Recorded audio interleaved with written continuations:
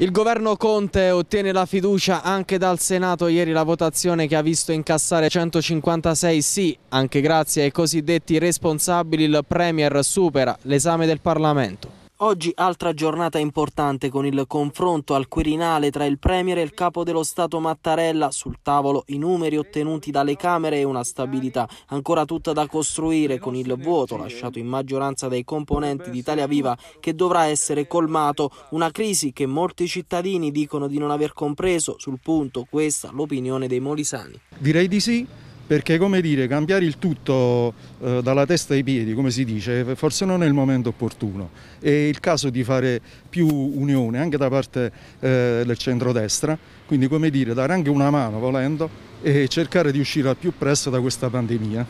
Non gliela do per tanti motivi, perché si sono comportati male di fronte a tutti i cittadini d'Italia e quindi non era il momento di fare questi movimenti e poi chi ci rimette è il povero cittadino. Oggettivamente sì, perché comunque hanno secondo me lavorato bene fino adesso, quindi decisamente sì. Questa crisi di governo lei l'ha capita?